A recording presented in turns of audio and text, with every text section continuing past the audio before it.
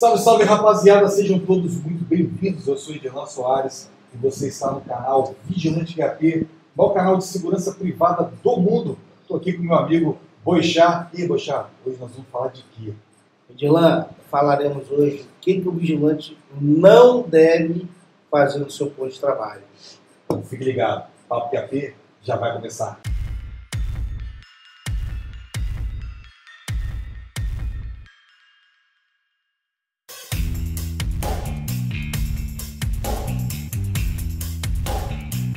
E aí, Bochá? Coisas que o vigilante não deve fazer. Primeira coisa, Bochá, que o vigilante não deve fazer, que a gente separou aqui uma lista de coisas e fica até o final, que a última é a mais interessante. Bem, a primeira coisa que a gente separou aqui que o vigilante não deve fazer é pedir dinheiro emprestado. Deus me livre. Ou emprestar, né? Qual que é pior, Bochá? Cara, tudo que envolve dinheiro é complexo. Emprestar dinheiro, como é que ele vai cobrar se o cara não quiser pagar? Pegar dinheiro emprestado, como que ele vai ter moral para fazer valer o procedimento? Fica complicado, né? Eu falo para minha esposa o seguinte, é a mesma coisa de pedir dinheiro emprestado. Eu falo para ela o seguinte, o fiado estraga a amizade. Às vezes a pessoa é sua amiga ali, né? No caso dela, que ela, as pessoas pedem fiado a ela, é sua amiga, tá com você, pediu fiado, não pagou, a pessoa fica chateada que você Exatamente. vai cobrar. E a mesma coisa no posto de trabalho. Né? É, o posto de trabalho é pior ainda. Pior ainda para o vigilante, que está ali para fazer valer as leis, cuidar das pessoas, garantir o bom andamento do, do local, e o cara está envolvido numa situação dessa. Bochá, já te pediram dinheiro emprestado no posto de Já trabalho? pediram. Como é que foi a situação? Cara, pediram dinheiro, pediram 50 reais emprestado ali. 50 reais é dinheiro pra caramba. Muito dinheiro. E, e muito- muitos anos atrás é isso. E aí eu falei, rapaz, o que está acontecendo, cara? Já fui logo na veia, né? Deixa eu só te falar um negócio, não pode ficar pedindo dinheiro emprestado, não. Não, não, tu deixa, deixa, deixa. Não, eu vou te emprestar. Mas o negócio é o seguinte, eu- tal dia. Se tal dia, se eu não pagar, não precisa pedir, não precisa pagar mais não. Mas não pede mais não. E outra coisa, se eu ver você pedindo dinheiro emprestado para mais alguém, eu vou falar com o supervisor. Aí a pessoa, esse cara é meio doido. Né? Não, mas já cortei logo. Por- Porque se eu falo não, a pessoa ia ficar com raiva. Ela tinha esse mau costume. Né? E eu pensei rápido ali, falei, bom, eu vou emprestar, vou falar um negócio de forma que ela não peça novamente, e que se ela não pagar, eu enrolo ela. E aí, graças a Deus, ficou por isso. Mas na minha equipe já teve vias de fato por conta disso. Entendeu? O caso de pedir dinheiro emprestado e os caras saíram na porrada porque o cara chamou o outro de tratante, o outro achou que feriu o ego dele, feriu a moral dele e, e saíram na porrada. Isso deu justo na causa dos dois. Aí dá problema, cara. Agora de dinheiro, é o que eu falo. É, é a mesma coisa do, do fiado, né? Estraga a amizade. Eu tive uma situação, logo quando eu comecei a trabalhar com segurança privada, logo depois que eu consegui meu emprego de vigilante, já tinha uns seis meses que eu estava trabalhando, aí estava ganhando um pouquinho mais do que eu ganhava, fazendo isso direto, trabalhando. Abri uma conta no o banco lá, a empresa tinha aberto uma conta no banco pra gente. Só que eu abri outro banco e consegui o cheque. E naquela época cheque existia ainda, né? Hoje em dia no- ninguém usa mais cheque, né? Mas aí, rapaz, eu fui inventar de pegar minha carteira, tirar do bolso, da troca troca de plantão. O cara viu o cheque. Hum, Eu vi que ele ficou de olho assim, mané. Aí eu já fui botei a carteira no bolso, ele ficou encarando muito minha carteira, ele era novato lá no posto e tal. Só que ele foi esperto. Por ele ser novato, ele já não pediu naquele dia. Aí deixou passar alguns dias, daqui a pouco ele chegou, hein? Aí guerreiro, ele fala meio assim, "Tem como você emprestar um cheque daquele não, uns três cheques, mano, que eu tenho que comprar um negócio assim, assado. Deu a justificativa dele, né, cara? Eu, Caraca, velho, eu, naquela época, eu tinha muita dificuldade de dizer não. Hoje eu não tenho dificuldade de dizer não, não. é, não empresta dinheiro, cara. É, a melhor coisa que faz, não empresta. A gente tá falando aqui, ó, não emprestar dinheiro. Aí, rapaz, eu caí na pilha e emprestei. Cara, foi incrível. No outro dia, meu colega foi, me, foi foi me render, falei para ele a situação, eu tinha rendido o cara, o cara viu meu cheque, pediu emprestado, eu emprestei, já estava preocupado com isso. Ele, aí ele foi para ajudar, ele falou, de lança emprestou para aquele pá fulano de tal, eu falei, emprestei.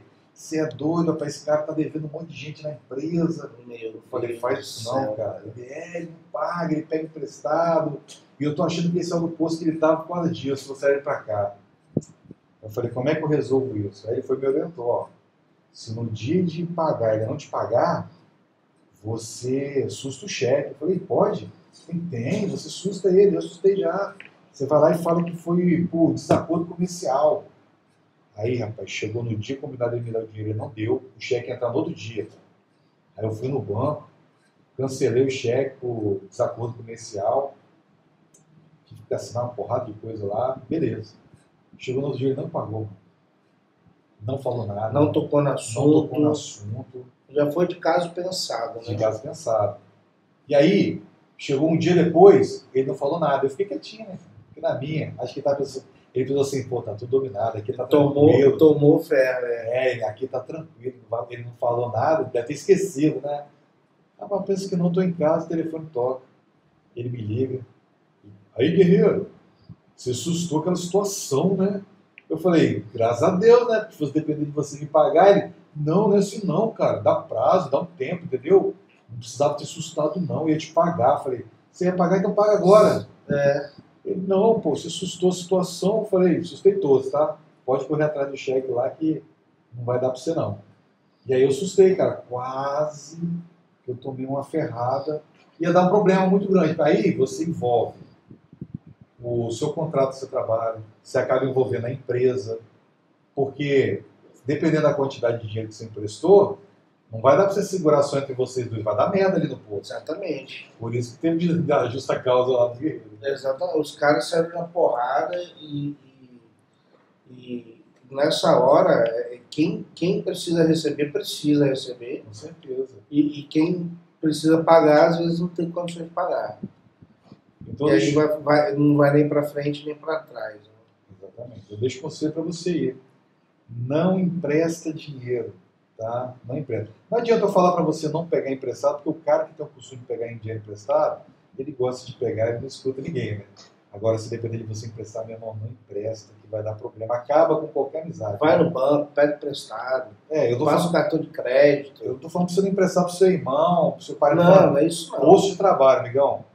Colega de trabalho, não empresta. Não Amanhã mistura isso não. Amanhã ou depois, o seu colega pode ser transferido de posto. Ele pode ser um cara que tem problemas que você não sabe e acaba, Exatamente. né? Acaba a amizade e pode acabar com o seu emprego também, pode dar problema por causa disso. Beleza?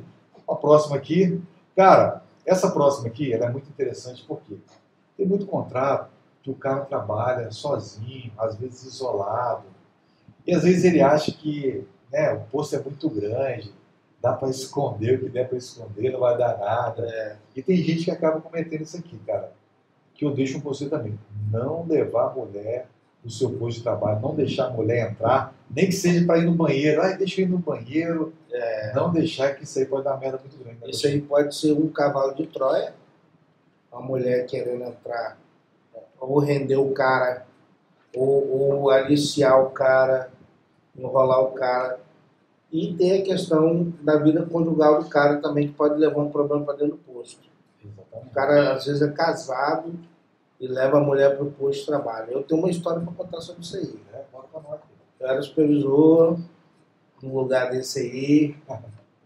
Fui lá fazer visita no posto, cheguei lá à noite, guerreiro todo bagunçado, terno todo fora do esquadro, cabelo para fora, sem gravata. Guerreiro, tudo bem? Tudo bem.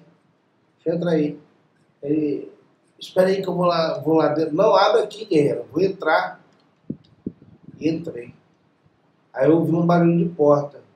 Aí eu falei, que, que, que barulho foi esse? Eu falei, então, eu ia lá fechar a saída de emergência. Que ventou, bateu a porta lá. Eu falei, aham, beleza, entrei. Estamos conversando, fui pro livro de ocorrência, eu li as ocorrências lá, carimbei, assinei. Aí fui pro cartão de ponto, conversei com ele sobre o cartão de ponto, sentei na recepção assim, deu um giro no horizonte. De resto, você tá sozinho aí? Eu tô sozinho. Entendi. É... Cara, é... final de semana, à noite. Mas por que, que você tá todo assim, cara? Deixa eu ver sua arma. A arma tá no cofre. Eu falei, o quê? A arma tá no cofre. Então vamos lá no cofre. Tinha quantos, quantas horas mais ou menos já tinha iniciado o plantão? Tinha umas seis horas. Ah, não tem desculpa, né? Não, não tinha, não tinha conversa. Não, Não. de qualquer forma não teria desculpa. Não. Mas se fosse no começo do plantão, cara, não, porque o colega tava com pressa. Tava na correria ali, é. tro- esqueci ali, né? Não. Rapaz, vamos lá na- no cofre. Você conferiu a arma? Não, eu assumi o plantão, o cara botou a arma no cofre e foi embora. Rapaz, você não conferiu a arma. Ok, vamos lá. Aí abrimos o cofre, a arma estava tudo certinho, o documento estava lá, a munição estava lá. Só que aí era um, um quarto pequeno e o banheiro que eles usavam. Uhum. Eu olhei pro banheiro, porta fechada, olhei para baixo, a luz acesa. Desconfiou na hora. Desconfiei na hora. Aí eu falei assim, ainda não, calma aí. Tá, não sei o quê. Falei, Guerreiro, faz o seguinte, cara. Você não pode ficar assim, todo mal trajado do seu posto de trabalho. Aqui é terno e gravata. Vai lá no banheiro, cara. Bota essa camisa pra dentro, bota a gravata, penteia esse cabelo seu. Você tá, você tá todo largado. Eu não vou te dar advertência nem nada. Ele foi pra recepção. Ó, tinha espelho. Foi no banheiro, não. Foi atrás dele. Botou a arma na cintura e tudo. Aí eu botei a mão no ombro dele assim. Migão, quem tá lá dentro do banheiro? Ih, casa caiu. né? Aí baixou a cabeça. ah, mulher aí. Então eu vou fazer o seguinte, eu vou ficar aqui onde eu tô na recepção. Vai lá, junta os paninhos de bunda dela, pega ela e libera lá. E a menina saiu de cabeça baixa correndo. E aí ele veio todo se explicando. Eu falei, cara, e aí, o que, que tem pra te dizer? Não tenho nada pra te dizer. Não, isso aí e tal, não sei o quê. É sua esposa? Não, não é minha esposa, não. Pô, mas você não é casado? Beleza. Infelizmente, né, cara, tive que tirar o cara do bolso, levar pra base. E deu, e deu o que deu. Rapaz, eu vou falar pra você, tem cara, eu conheço um cara que trabalhava comigo e ele foi para um posto, que esse posto ele era um posto nessa situação que eu falei, um posto muito grande, vários locais para ele esconder o que ele quiser lá. Ele viciou em levar garota de programa nesse posto. E ele era casado. Na verdade, ele é casado até hoje. Né? E é só começar, né, cara? É só que o cara começar a fazer que ele acaba gostando de fazer ali, vai fazer sempre. Fica naquele clima assim, né? Desafiador e tal. Tem cara que tem os fetiches dele lá. Porque o cara, se o cara, vamos botar, uma área que, que o cara dá, se ele quiser, dá muito ninja na mulher, infelizmente, é a área de segurança, né? Porque tem cara que usa o pretexto que ele faz segurança e fala para a esposa que está fazendo extra. Não vou poder atender o telefone. É, lá, lá não posso atender. Pô, só que tem cara que não quer fazer isso na sua folga, não. Ele quer fazer no trabalho. Leva para dentro do posto. E é uma coisa que dá justa causa, né, cara? Fora a justa causa, como é que você vai explicar em casa? E já aconteceu assim também, tá? O do cara ligar pra mim e falar assim, "Ei, Bochá, o negócio é o seguinte, se a minha mulher ligar pro telefone da empresa aí, eu tô, eu tô de extra lá no posto tal, hein? Aconteceu Que? comigo também. Não, guerreiro, você tá maluco. Você, depois da, a- a- você morre aí e eu, alguém É. te mata, eu sou, sei lá. É, tem esse perigo, né? Eu lembro que teve até uma, um episódio aqui que, a gente- que eu comentei sobre isso. O cara chegou, ele, era, ele trabalhava no carro forte, e ele chegou e ele fazia isso na escola. Ele chegou lá e falou que ele estava acostumado a fazer isso. Os caras faziam isso pra ele. Edilan, eu vou sair, mané. Minha mulher vai ligar pra cá. Você fala pra ela que eu tô de plantão. Eu falei, não, velho, não vou falar não. Não, rapaz, tá doido, rapaz, você tá maluco? Você quer acabar com o meu casamento? Não, quem quer acabar com o seu casamento é você que tá acabando. Não, não vou falar não. Se sua mulher ligar pra cá, eu vou falar pra ela que você não está trabalhando. tudo que você falou aí é verdade, se você for olhar pelo lado jurídico, né? Uhum. Pode dar uma merda na empresa. Eu nem pensei nisso, eu pensei pelo lado moral, né? Falei, cara, eu vou mentir, velho. O cara que tá piranhando, eu vou, eu vou cometer esse ato de contar uma mentira, o cara tá piranhando. Não, nunca mais ele pediu. Rapaz, aconteceu um, a, a gente trabalhando certo, às vezes acontece coisa errada. Exatamente. O que, que aconteceu uma vez no início do plantão? É, deu umas três faltas, assim. Tinha um posto que tinha uns 12 vigilantes noturno. Aí eu falei assim, pô cara, vem cá, me ajuda aqui, liga para o plano de chamada aqui. Aí o cara, de ligar no telefone da empresa, ligou no telefone dele. Aí a menina foi fazer a extra. Só que esse cara era muito sangue bom. Era um coroa daqueles é, é, é, do, do bodybuilder, todo pá. Mas ele era muito sério, cara caseiro, cara nem, nem refrigerante ele tomava. De tão de saúde, assim, Tô tão, certinho. tão certinho. E a menina foi. Do nada, rapaz, de madrugada, duas horas da manhã, o telefone dele toca. E o cara ameaçando ele de morte. O marido da mulher, mano. Você ligou pra minha mulher, que a mulher deixou o telefone em casa. Ele, e, ele, e ele começou a gaguejar.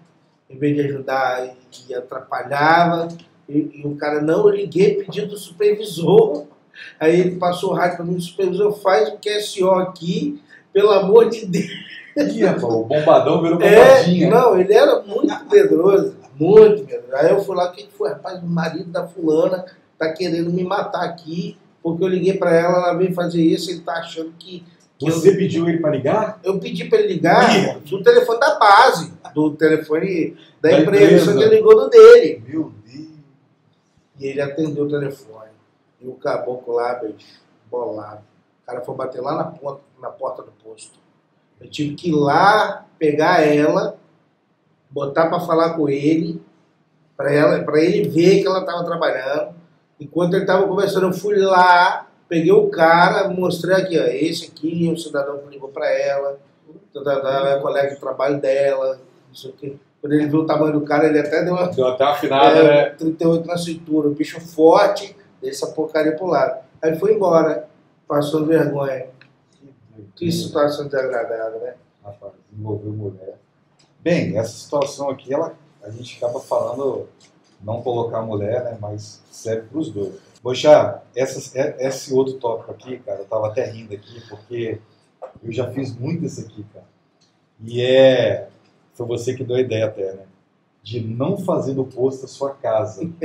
Vigilante faz o, faz o posto a casa dele, cara. Faz. Em qual sentido? Porque eu, eu- eu- no meu sentido aqui eu já fiz. Mas qual o sentido que você fala? Cara, em vários aspectos. Ele mobília o posto. Mobília? Já fiz isso.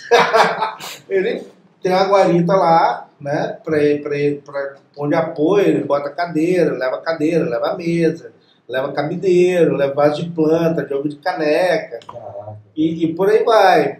Bicho, é complicado demais. Aí, aí tem um kit estoura atrás da porta, ou um papelão, colchonete, travesseiro, Já deixa todo docinho de posto. pelúcia, um Cara, negócio cervical. Eu já peguei aquele negócio cervical, é, é, travesseirinho cervical.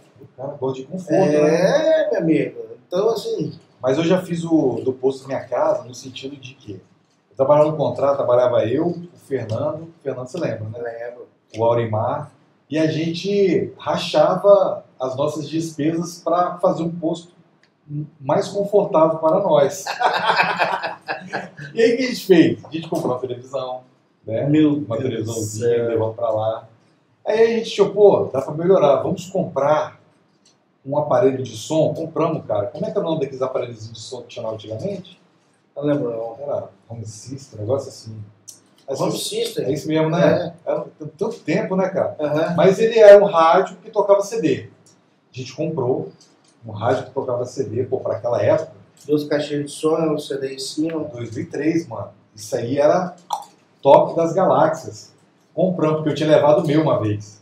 Aí eu não queria deixar o meu lá. Eu falei, pô, vamos comprar um pra nós? A gente racha? Vamos. Aí depois a gente comprou um ventilador, tudo rachado entre nós. Veja, a guarita de vocês era igual o, o, o tambor do Chaves, né? Cara, a gente trabalhava num posto que para nós era o melhor que tinha. A gente, cada um ia passar o plantão, dava uma geral, uma faxina geral, passava o posto filé um pro outro, É. entendeu? Nossa equipe, nós, enquanto o posto, a gente só saiu de lá que acabou o contrato. A empresa estava quebrando, ela cancelou, acabou. E a gente só não comprou micro-ondas, porque a empresa ela dava comida, cara. A empresa tratava muito bem do vigilante. Que bom. Mas a gente, cara, tinha tudo lá. Não, posto- a gente tem que ter consciência que o posto de trabalho, é, a gente tem que ter o mínimo de conforto necessário, é, o mínimo de, de condições necessárias para as nossas necessidades pessoais, fisiológicas e higiene, né? Para que a gente não contraia uma doença e tudo. Só que o vigilante, cara, ele tem que ter consciência disso. E, e tem gente que acha que, que tem que levar até o, o ursinho dele lá de pelúcia que está acostumado a dormir abraçado. E não pode. Cara, eu acho também que se encaixa que não fazer o seu posto, do seu posto da sua casa, é de você não deixar sujo igual um chiquinho, né, cara? Na sua casa você faz o que você quiser. Se você é pouco em casa e quer deixar lá sujo, beleza. Agora, passa a guarita limpa pro seu parceiro, né, cara? Sem dúvida. ter um ambiente de trabalho limpo. Ah, uma vez, eu estava num posto de trabalho, o, aquela empresa que eu trabalhava, que era mal assombrada, que eu te falei, o Ah. dono dela descia de helicóptero lá. Você lembra disso, né? Leva. Pô, o cara, um empresário muito respeitado aqui no, no- no estado. Ele chegou lá e pediu para usar o banheiro. Você imagina se o banheiro tivesse todo mijado, Não. todo sujo e tal. Os Cara, caras não pensam nisso, né, cara? e, e é o bem-estar, né? Você ficar dentro de um, de um posto de trabalho com o banheiro fedendo, Tudo sujo, né? tudo sujo. Pô, você já tem sua garitinha, tem um banheiro interno ali, cuida bem, né, cara? banheiro. O banheiro, o piso todo marcado, o cara passa água no cabelo, cai no chão, sai pisando, vira aquela baba no chão. Entendeu? Falta de respeito com o colega que vai ficar ali mais 12 horas. Entendeu? Falta de respeito com a estrutura que o cliente dá. E falta de higiene pessoal. Eu tenho certeza que na casa dele ele não faz isso. Com certeza não.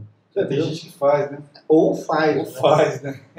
O, eu sempre falo, né? Se o cara faz isso aqui, imagina na casa dele como é que não fica, né? Cara, uma, uma coisa que as pessoas sempre brincam, sempre faz até meme na internet aí, com as Forças Armadas, é sobre a faxina, né? Lá realmente o recruta faz faxina. Mas Você fazia muito? muita fa- Você acabava de cozinhar lá no...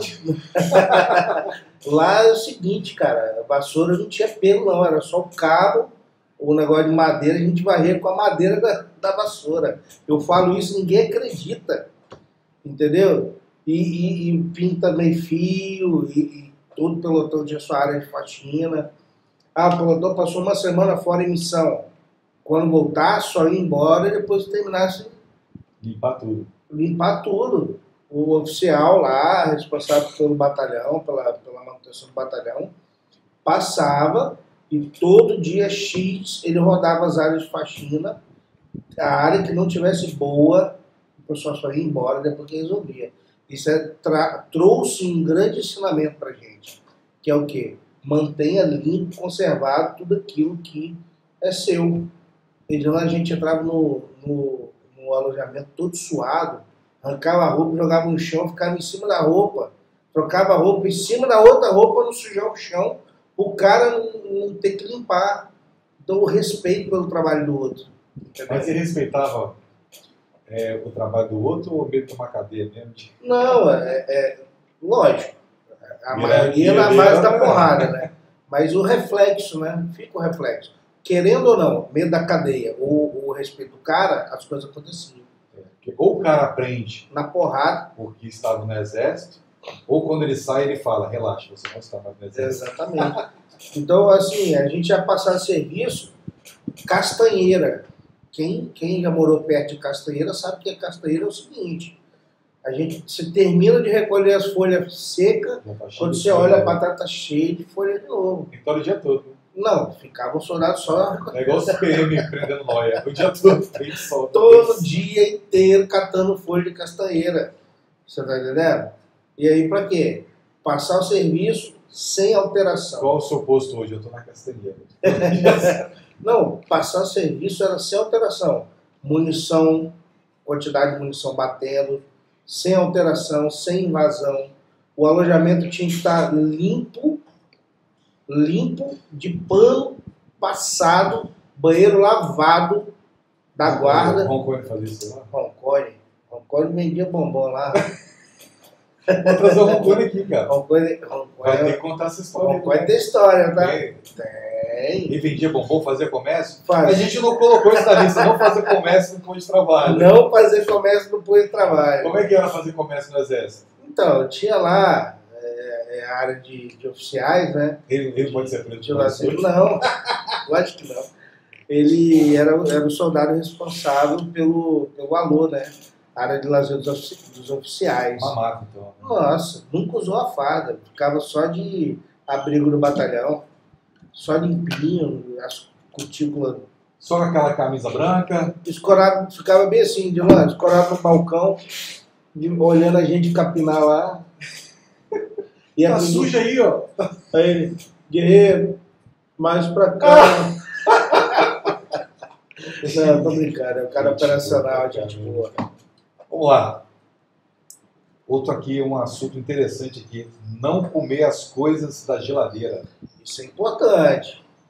Às vezes o, cliente dá a estrutura de trabalho para humanizar o posto de trabalho. Tem lá uma geladeira compartilhada com o pessoal do administrativo, tem micro-ondas e tal.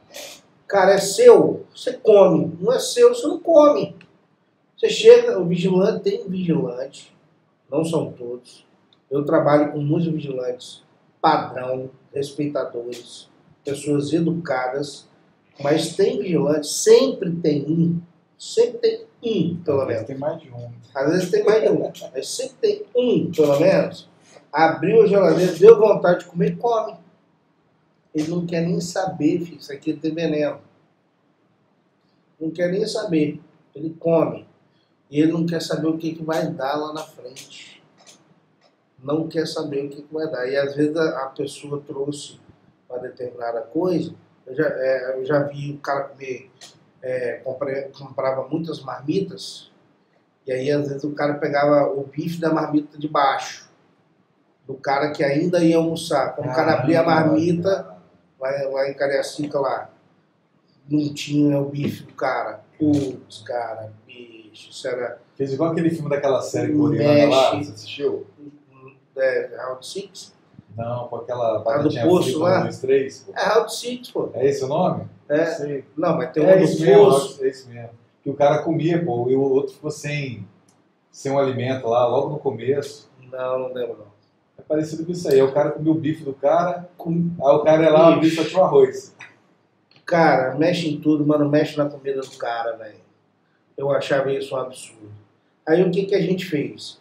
A gente arrumou uma estufa, botou no local monitorado e paramos de comprar marmita para geral. Porque o pessoal chegava com o dinheiro da marmita, o supervisor ligava, pedia para todo mundo, botava lá e, e os caras aí não. Aí o cara disse, agora vai trazer de casa. Aí botava tudo enroladinho, bonitinho lá. Se alguém mexesse na marmita do outro, ia. Aí, daqui a pouco, perde o posto, perde o fogão, daqui a pouco perde o micro-ondas, daqui a pouco perde a geladeira, Rapaz, eu sempre falo. e, e daqui a pouco o cara diz que está insatisfeito no posto e a responsabilidade não é do cliente. Eu falo por experiência que eu já passei. E eu acompanhava e observava. Os contratos, o posto começava com um contrato bom para o vigilante. Muitos, nem todos, né? Muitos. Na minha época, tá? A minha época é uma época bem diferente de hoje. Mas na minha época, o posto bom já vinha por telefone para o cara poder ligar para a família, se É quisesse. A empresa que te contratava, que era o cliente, dava comida, Aham. a primeira coisa que ele perdia era o telefone. Que o cliente deixava lá o telefone, ele já começava a ligar para os esquemas, tinha uns que ligavam para o chat, né? Hoje em dia, talvez o cara que está trabalhando hoje, Esse chat era caro. é, o o cara que está trabalhando hoje, talvez é uma pessoa nova, não vai entender. Naquela época, a ligação telefônica era muito cara, né? Ligar para o celular, então, uma nota Nossa. preta. E os caras abusavam, aí o cliente olhava a conta do telefone e falava, cara, tira o telefone desses caras, não dá mais. E o cara era tão burro, só tinha ele no posto e achava que o cliente não ia perceber. Não ia descobrir, né? Nossa. E aí o cara perde o telefone, depois perde a comida, porque começa a dar um monte de problema, o cara fala, quer saber? Não dá mais comida não, esse que traga comida. Isso já aconteceu comigo já. Você comia a comida do posto? Comia a comida do posto, depois o cliente cortou. Cortou. Pode ter problema, né? Pô, cara, falta de respeito. O cara botava muita comida na bandeja e não comia. É isso aí, Entendeu? é abuso. né? Pô, bicho, falta de respeito danado isso, cara. E às vezes, ó, tem vigilantes que têm situações financeiras e dificuldades pessoais diferentes. Às vezes aquela comida que o cliente dava era algo muito importante no seu rendimento. O cara deixava de fazer almoço, deixava de gastar para poder levar para o posto e comia lá. Aí agora ele teve, passou a ter um gasto Não tinha essa preocupação. não tinha né? essa preocupação, passou a ter, porque o colega não respeita, entendeu? Rapaz, esse posto que a gente trabalhava, que eu falei que a gente comprava as, as coisas pra gente lá, pra você ter ideia, é, de manhã você almoçava no, no rancho lá junto com os funcionários, inclusive dava até preferência pra gente que era vigilante, passava na frente da fila para poder pegar comida e ir para o mais rápido possível. E à noite, toda noite, o cozinheiro vinha com uma garrafa de café e dois pães recheados de carne, porque não tinha janta, né? Dois pães com carne. mas vinha ali um, um lanche bacana, né? Nossa, cara, eu achava aquilo maravilhoso. Aí, final de semana, eles pagavam uma empresa para levar comida pra gente. Ou seja, você tem que dar valor a isso aí, cara. Se você pede um posto desse aí, por isso que a gente cuidava com o maior amor e carinho. Quanto que tá hoje o ticket do vigilante aqui no estado do Espírito Santo? Hoje não tenho noção. É uns 30 reais? Muito tempo que eu não acompanho. Então, é, é, lógico que a gente, eu vejo aí bo- boas, bons PFs aí a uns, uns 18 reais, 20 reais, né? O cara não vai comer é, é, uma, uma coisa de outro planeta, mas vai comer uma comida caseira Tem de, ali, tem de 15 também, cara. tem de 15 Tem também, de tem. 15, tem de 12. Então, mas vai comer uma bem servida, né? Bem servida. Aqui tem um aqui que entrega de 12 reais. É 12 reais ainda, Matheus? O churrasco ali?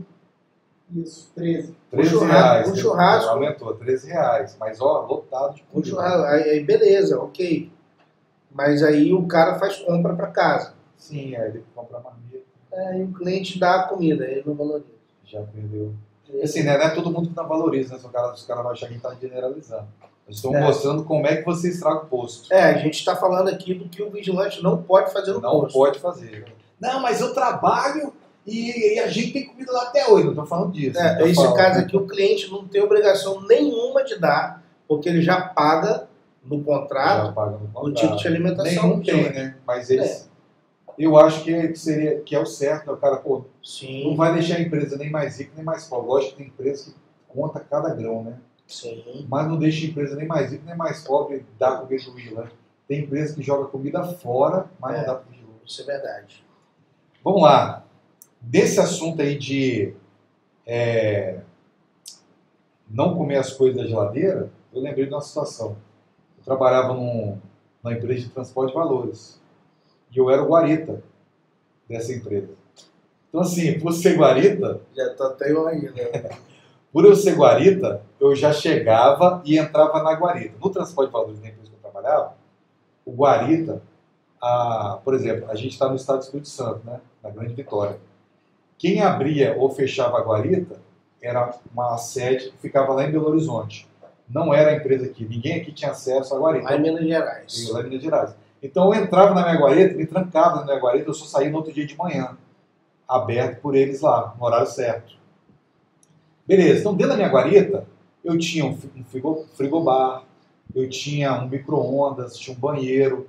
Então eu já chegava, botava meu alimento ali e ficava de boa. O meu parceiro, que era chamava de volante, que é o vigilante da base, que faz segurança da base, fica a noite toda com, com a 12 pendurado com um cordão no pescoço. Ele chegava, ele já ia lá atrás, guardava o alimento dele, trocava de roupa, colocava o alimento dele na, na geladeira, né, a marmita, trazia um suco, alguma coisa para comer na madrugada, ele deixava tudo lá na geladeira, vinha correndo porque estava chegando caminhão, era troca de plantão, estava chegando caminhão, ele tinha que receber os caminhões, receber o armamento. Pô, quando ele chegava lá atrás, mané, tinham tomado o suco dele todinho, deixava só a garrafinha. Covardia, né, cara? Covardia. A minha colega, cara, isso eu sei que. Eu sei, eu concordo com você que você vai falar assim, não, isso não acontece, não. É difícil de acontecer mesmo, mas lá acontecia. Os caras tomavam, cara, o suco dele, mexia na marmita dele, comia, e o cara ia trabalhar à noite, às vezes, pô, comia comida mexida mesmo. Nossa. Aí de tanto mexer no suco dele, ele falou de lá, vou colocar uma surpresa nesse suco. Vou trazer um laxante. Falei, tá doido, ela? Vou. Esse cara vai cagar a noite toda, mas eu vou colocar. Aí ele chegou com o suquinho e tava lá batendo suco. Aí, Vila, tô preparando. Aí ele foi, mané, botou na geladeira lá. Aí chegou depois pra mim, Edilan, o rato mordeu a isca. É, Mano, a gente não sabe como é que foi, mas com tem, certeza tem esse cara isso mesmo. passou mal a noite toda. O cara é covarde, né, cara? Covardia, pô. Outro aqui, Bochá, que a gente separou aqui, não fazer fofoca. Fofoca é um negócio que dá morte, cara. Cara, fofoca é uma merda, né? Fofoca é complicado. É, outro dia, tô lá no, na empresa que eu trabalho, né? aí eu recebi um amigo meu, que é gestor de segurança, para falar de uma coisa que não tinha nada a ver, É pra fazer fofoca? não, para fofocar, Não. nada a ver, e aí foi lá visitar o local, a gente fazer aquela troca de informação e tal. Ó, a empresa de vigilância está perdendo posto. Ih, rapaz. Aí daqui a pouco Rola fofoca. o vigilante da portaria já ligou para o supervisor, supervisor, a gente vai perder um posto. Caralho, já Aí passou o por isso. supervisor já ligou para o gerente dele e falou, gerente, a gente, já, a gente vai receber o aviso a qualquer momento. Aí o gerente já ligou para o dono da empresa, ó, deu ruim, a empresa tal está entrando lá. E aí o cara me ligou, o que está acontecendo, rapaz? Pelo amor de Deus, rapaz, pelo amor de Deus, rapaz. Esse povo fala demais, esse cara vem aqui porque presta serviço numa empresa do mesmo ramo, vem aqui ver o que a gente está fazendo para poder levar isso para lá e tal. Você recebeu algum termo de contrato aí? Não, então fica quieto, pelo amor de Deus. Rapaz, é, Desse, tudo começou com o vigilante da portaria. Eu já passei por isso nessa mesma empresa. É na sua empresa, né? É. Eu era supervisor dessa empresa aí que é gerente. Tinha um outro gerente que era do seu lugar. E aí, começou a rodar nos postos que a empresa que a gente trabalhava ia perder o contrato porque o coronel fulano, que era da empresa tal, estava lá visitando o centro de distribuição, que é a sede, né? Aí começou a rolar esses boatos, tá todo mundo fazendo essa fofoca, todo mundo com medo. Aí eu cheguei nesse gerente aí e falei, rapaz, tá rolando os comentários, esse saque peão é, comenta, né? Falarei que você recebeu o coronel fulano aí, que a gente vai perder. Eu, Não, rapaz, Guilherme, pode ficar despreocupado, a empresa de vocês vai continuar aqui, o trabalho está redondo. O negócio é que a gente tem uma cultura aqui de receber todo mundo que quer vir. Se o cara quer vir, quer apresentar, a gente agenda, ele vem, a gente recebe, apresenta, mesmo. como é que é, mas quem está de fora já olha, né? Já começa a fofoca. Nossa. Aí, aí, outra fofoca. A empresa de transporte de valor, que também é patrimonial, é, que tem contrato com a empresa, que faz o recolhimento numerário. Ó, outra coisa. né? Outra coisa, outro ramo, lá transporte de valor. Podemos usar o pátio aí para treinamento? Pode, pode usar. pode usar o pátio, pô. Fazer manobra evasiva, ofensiva, defensiva, um carro forte, É uma né? intimidade muito grande, o cara já pensou, não, pegou. Não, já era. Daqui a pouco começou, começou a chegar carro forte lá, meu amigo. Chegou uns cinco carros fortes, começou a descer vigilante. Aí os caras olharam para o outro, bom passagem. Pô, você tá passar. sendo avisado assim. Avisamos, rapaz. Só que os caras ficaram com aquilo na cabeça. Segunda-feira os falaram lá, pô, rapaz, a empresa tal vai pegar aí. Rapaz, ele já tem contrato com a gente. E é de um ramo que vocês nem trabalham. Então fica quieto, os caras já estão treinando. A tal da fofoca dá esse tipo de problema. E, e né? fofoca, ela, ela é- é, traz problema também. Tá, é, o cara, a menina foi passar pela vistoria lá, bolso. O cara inventou, pegaram um brinquedo lá, né? Sexual na bolsa da menina. E começou a Problema de fazer revista, homem de revista de, de Não, ele Pô, falou que a, que a mulher, a colega, ele estava perto. É a mulher que faz um. Ah, ele acabou vendo.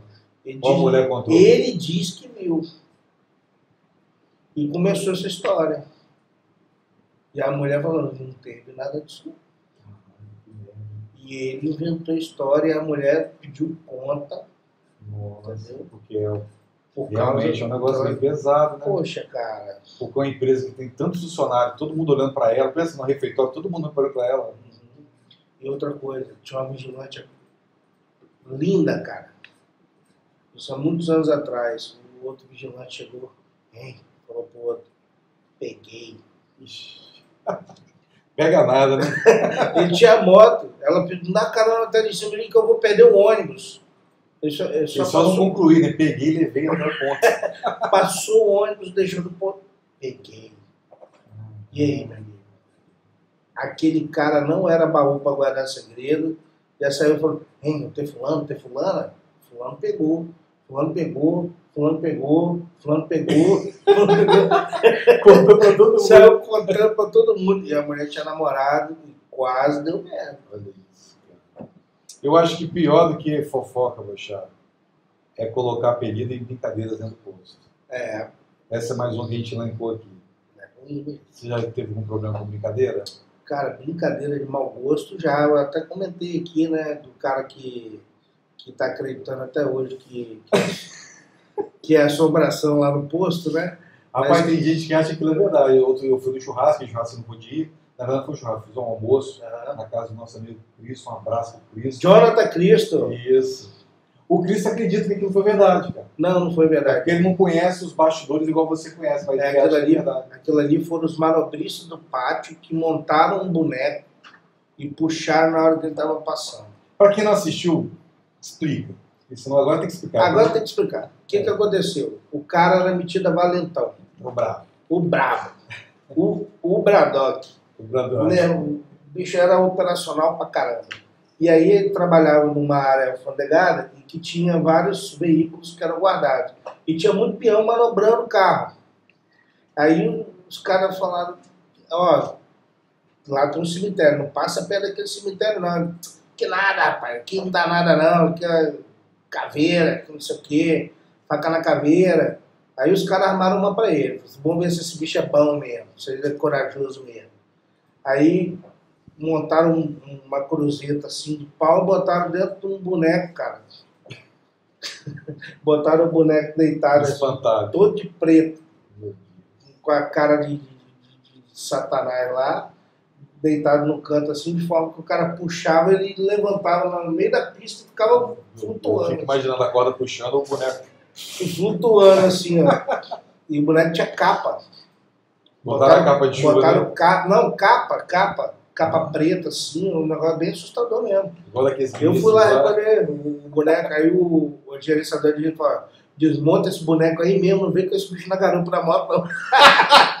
Vou achar que é um fantasma. Não vem com esse bicho na garupa da moto, não. Eu tive que ir lá, junto com o supervisor, desmontei o bicho. Aí o cara, o vigilante chamou, ele foi. Cara, o cara puxou. Ele jogou a moto pro lado, pulou pro outro, saiu correndo. Ele largou a moto ligada e foi correndo pra portaria. O homem sentou no chão chorando, o capeta, o capeta. Rapaz, um daquele tamanho chorou com força. Né? Me ligaram em casa pra me render ele, que ele não estava em condições. Você tá. Tudo começou por causa da brincadeira. né? Brincadeira de mau gosto. Tudo bem que a brincadeira não envolvia segurança, né? Mas, cara, é complicado. Uma vez eu estava num posto e eu tinha pouco tempo que eu tinha entrado na área de segurança privada. E eu sempre fui muito na minha. Eu trabalhava numa empresa, nessa empresa, que era até essa empresa aí que a gente colocou o radinho lá pra gente ficar à vontade, tinha muitos funcionários. Ela era uma indústria, né? Trabalhava com perfilados. Então é. Como é que se fala? Esse tipo de indústria? Perfilados. É, trabalho com Metalurgia. metalurgia. Então, tinha muitos metalúrgicos trabalhando lá. Tinha uns caras que gostavam de brincar e tal, então eu tratava todo mundo com respeito e educação, então dava aquele. Até ali naquele limite É. de respeito, né? dá aquela distância dele poder brincar com você. Só que eu tinha um parceiro na época que ele brincava muito. E aí teve um cara lá que pegou, ele abraçou, levantou ele pra cima, ele com os dois braços assim, ó. O cara abraçou, levantou pra cima e brincou.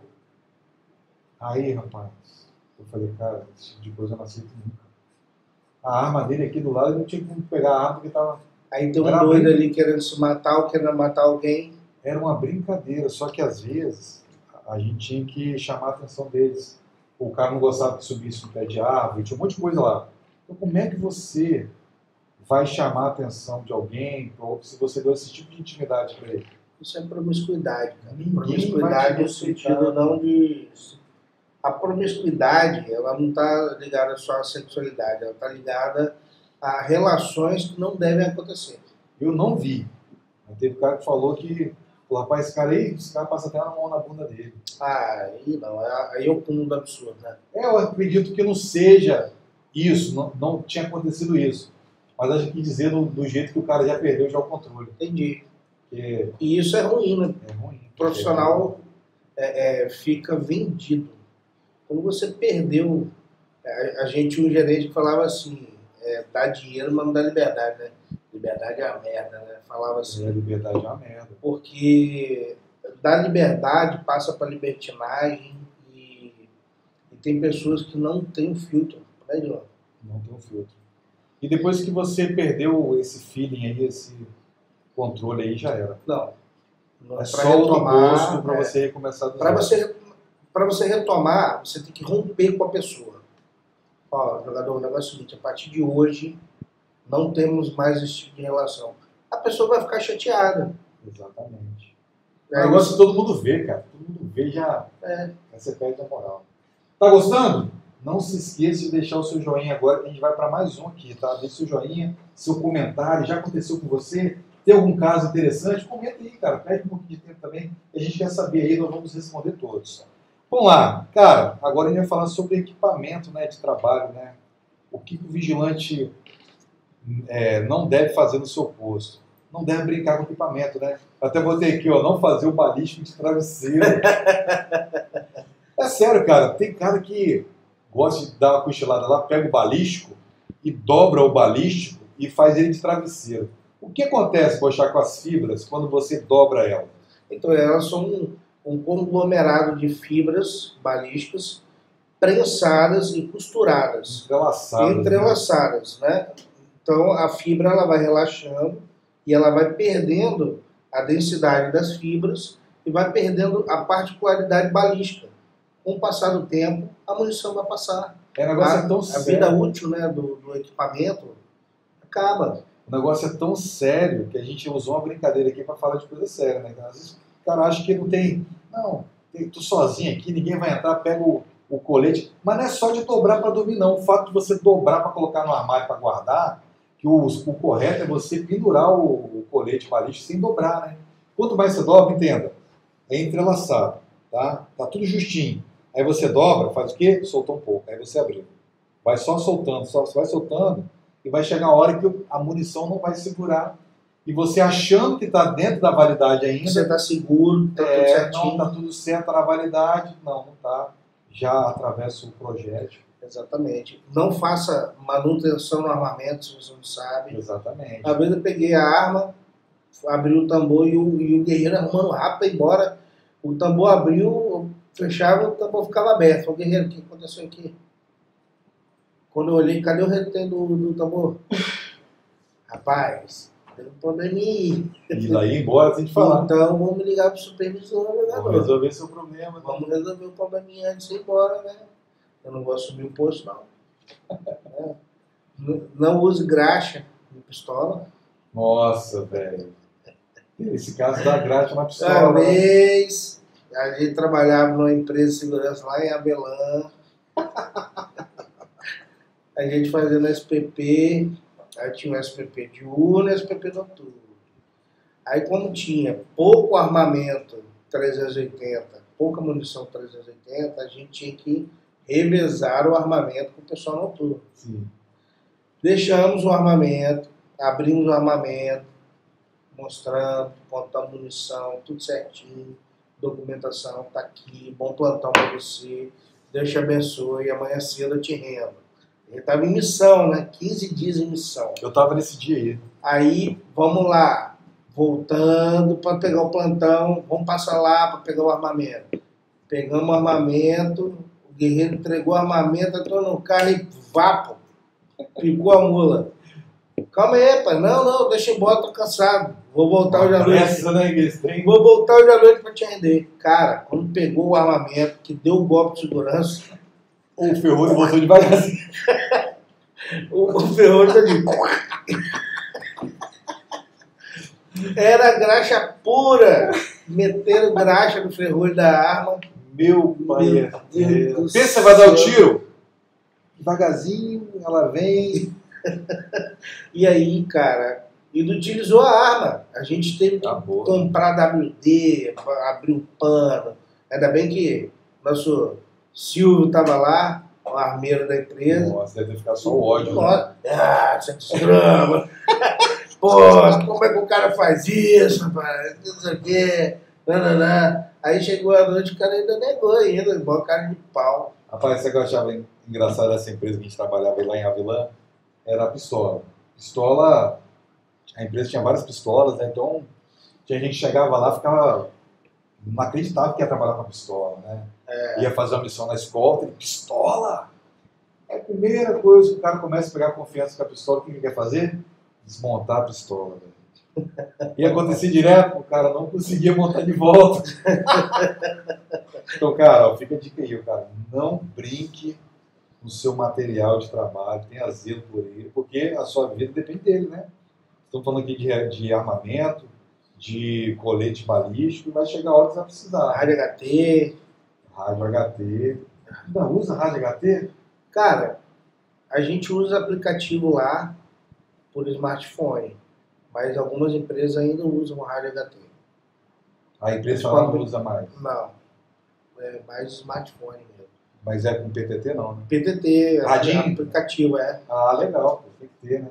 É, porque ali é o seguinte, Leon, o mesmo rádio que ele usa como, é, como rádio HT, ele registra o ponto, ele, faz, ele abre a ocorrência, ele registra uma foto. É um aplicativo próprio é isso?